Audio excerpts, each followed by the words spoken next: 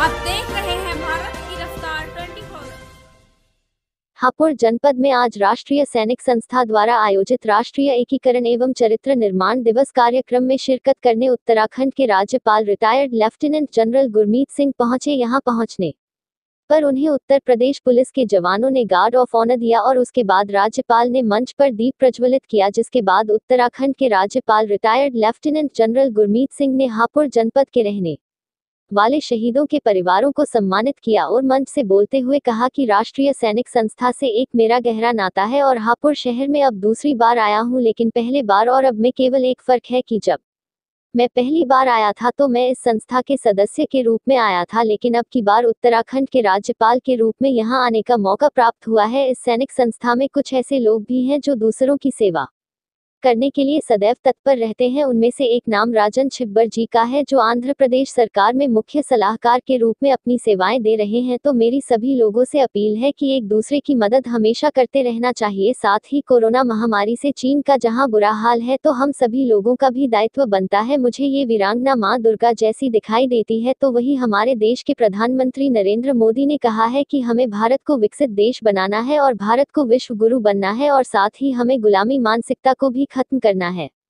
शिव कुमार रावत की रिपोर्ट। और जो एक नेशनल रेजिलियंस से हमने कोविड का मुकाबला किया, वो अपने आप में अलग था। लेकिन ये लड़ाई अभी खत्म नहीं हुई है।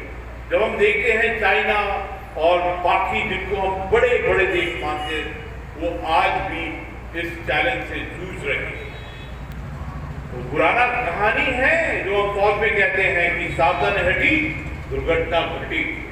हमको हर वक्त इस चुनौती के ऊपर में सावधान रहना।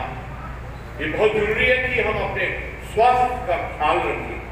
चार चीज़ें जो हमने कोविड महामारी में सीखी, कहने को तो बहुत सिंपल है, लेकिन हर की सिंप्लिसिटी में ही एक विशालता बसी हुई है।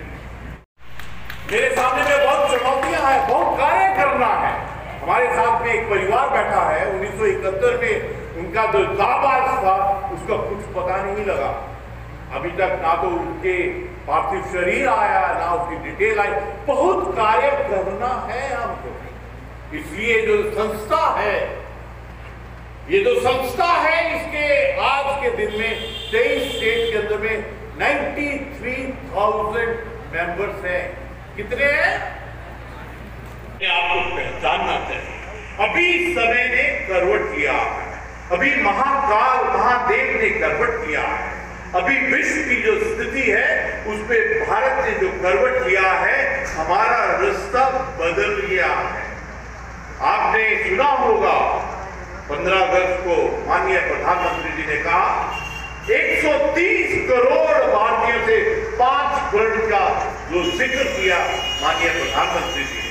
उन्होंने कहा कि भारत को विकसित राष्ट्र डेवलप स्टेट बनना है। उन्होंने कहा कि भारत को विश्व गुरु बनना है। उन्होंने कहा भारत को एक बनना है। उन्होंने कहा कि भारत को गुलामी की मानसिकता से निकलना है। उन्होंने कहा कि हमको अपने धरोहर, अपने हेरिटेज को पहचानना है।